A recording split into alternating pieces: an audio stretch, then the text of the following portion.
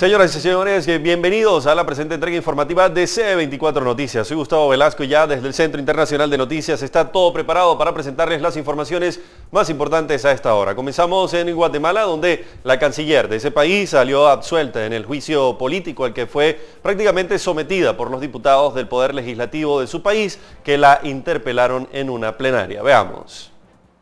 Citada para responder sobre los planes migratorios y consulares que adelanta el gobierno de Jimmy Morales, la canciller Sandra Jovel compareció ante el plenario del Congreso de su país, que la increpó sobre las intenciones del actual gobierno de bloquear la gestión de Iván Velázquez, el jefe de la Comisión Internacional contra la Corrupción e Impunidad. Cuestiones que evadió contando con el apoyo de partidos oficialistas. La canciller ratificó que los consulados guatemaltecos en todo el mundo están a disposición de los ciudadanos en el extranjero.